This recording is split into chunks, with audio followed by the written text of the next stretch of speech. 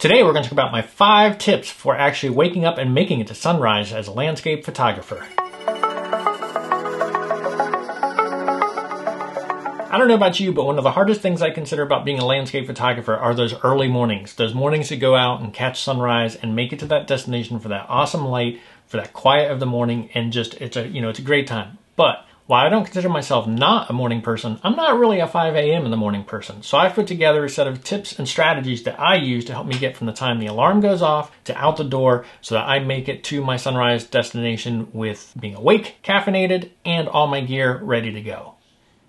So tip one, I make sure I have my camera bag packed Batteries charged for the camera and all my memory cards prepped the night before. I make sure those all go into my camera bag, make sure the batteries, make sure they've got full charges, make sure my memory cards are good so I don't have to be worrying about deleting anything or prepping a card in the morning. It's all good to go and confirmed ready the night before pack the whole camera bag up, take my camera bag, set it by the door with the tripod attached. So I literally, all I have to do in the morning is pick up my bag and go because I know I packed it all the night before and I don't have to go looking around for anything, hunting for anything missing, or even remembering to grab a battery off the charger. It's ready to go the night before, makes for an easy exit the morning of.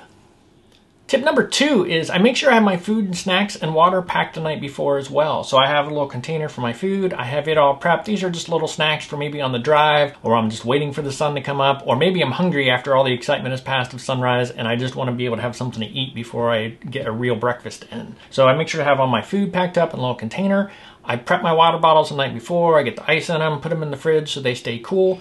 And if I'm taking any kind of snacks that require refrigeration, I have the snacks in the fridge right next to the water bottles and I have my cooler sitting on the counter. So in the morning, it's literally grab my little pack of food, grab my water bottles, throw anything in the cooler I need, and it's super easy to do. There's no prep. I'm not making sandwiches the morning of. I'm not doing any of that. It's all been made the night before, so I can just grab and go, make it super easy.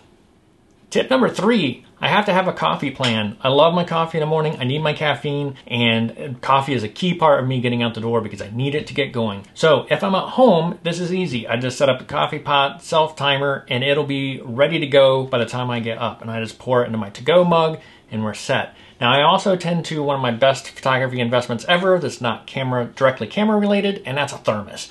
Got this nice thermos, keep my coffee hot for really about 8 to 12 hours. So that pot of coffee I make, I pour my travel mug, warm up my thermos, get the coffee in my thermos, and I'm good to go for that coffee to go. Makes it super easy. So that's my home trick. Just prep the coffee the night before, so programs and brews the next morning, pour it into my thermos, into my to-go cup, and I'm good to go out the door and on my way. Super easy. Now, if I'm traveling, this can get a little more difficult. If I'm staying in an Airbnb, this sounds silly to admit, but a lot of times I'll look and try to make sure they actually have a real coffee maker and not one of those single serve things. Because I like to hit the road with my thermos, so I need a full pot of coffee to go, not single cups here and there. So I started to check that out and try to confirm either from the pictures or sometimes even emailing the host to find out that they have a coffee maker that's going to work. And then I really just do the same thing. If they don't have a self timer on it, sometimes these places have super simple ones, that's fine. Just get up and the first thing I do is hit brew and we're good to go and my plan sort of works out no problem. If they're either only a single serve coffee maker or you know there's no coffee maker or say I'm in a hotel or this just really isn't a great option. A lot of times I'm leaving before any kind of hotel breakfast bar will be open. So sometimes I will scout out a fast food place. McDonald's open super early, and that can be a viable option. When I was in the Rockies, that's sort of what I did. I took off, went the first half hour of the drive, 45 minutes to drive without coffee, but there was a McDonald's, no drive through line at 5 in the morning just cruise through, get my coffee, I'm good to go. So I sort of have that scouted out as well to how I'm going to caffeinate. Now, if I'm camping, I learned this one the hard way. If you're camping and you need to get up, set up the camp stove the morning of, that's just, it just doesn't work. It's super, I either end up not getting coffee or I end up being, uh, I'm not going to make it to sunrise. So what I do and what has worked really well for me is I actually make my coffee the night before. So that night in camp, I'll set up my stove, I'll boil a pot of water. I'll warm up my thermos with it so it stays nice and hot. And then I'll make another pot of water with my coffee. I use a little percolator, fill up my thermos, bundle up nice and tight, put it in the 4Runner, and then I have that ready to go the next morning. It's not the hottest of the hot coffee, but it'll definitely be called hot. Definitely serves the need of getting me caffeine, and that's my trick for when I'm camping. But that's my coffee solutions. Tip number four is I lay all my clothes out the night before. I plan what I'm going to be wearing, put them in a stack. This includes socks, pants, shorts, shirts, extra layers, vests, fleece, shells, all of that stuff gets set out and put in a stack. My hat goes there. That is all laid out right there. And then I usually have a little smaller stack if I need extra layers. Maybe I think my feet might get wet or maybe I'm not 100% sure what it's going to feel like in the morning. So I just want those extra layers that can go in the 4Runner with me. So I get that all gathered up, set it out. And in that way, all I have to do is get up in the morning, grab my clothes pile. I've already made all these planning and thinking. I, my mind doesn't even have to think. I just go, grab, start putting on clothes and I'm good to go. I can, it makes it super fast to get out the door in the morning if you do all that prep the night before, as opposed to getting up in the morning, rummaging for the closet, wondering where your favorite vest is, your favorite jacket is. You already have it all set out, you solved those problems the night before, and you're good to go.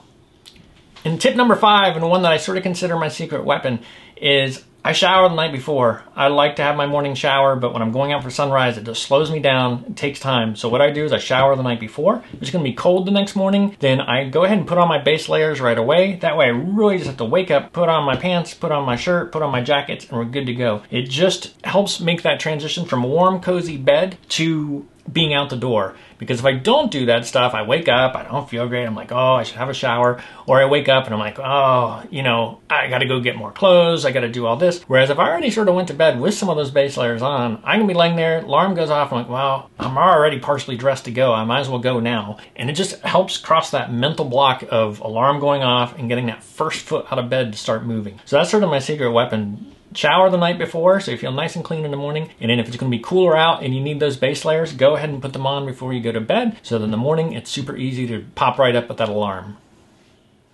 So those are my five tips to help me get going in the morning. I don't know about you, but like I said, I don't really mind the mornings, but when the alarm goes off at 5 in the morning or 4.45 in the morning, it can be just be really tough. And really, most of the battles is mental because you're in there in that nice warm sleeping bag or bed and alarm goes off and your mind just doesn't want to go. But if I've taken care of all of those, all the hard stuff's done. I'm really just grabbing things and going. Everything's already been set out. I don't have to think and I can just move and go. So if I can just get my feet out of bed, it just sort of ticks off the list. I'm out the door and can make it out pretty quickly. So by removing those hurdles, those extra things to do, I find I'm much more successful at getting up at the time I wanted to get up in order to head out. So all the photography gear and tips and tricks and settings and equipment won't help you at sunrise if you can't get out to sunrise reliably. And the sunrise is just such a great time to photograph with the awesome light, the stillness. You know, you just don't want to miss those chances. So look at any opportunity you can to make those mornings just a little easier for you so you can do more of them and get more awesome photographs. So how about you?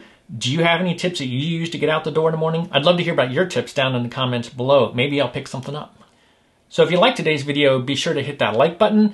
And if you want to see future landscape photography content from me, including tips, tricks, behind the scenes, mini gear reviews, be sure to hit that subscribe button so you don't miss any landscape photography content from me in the future. And thank you for watching.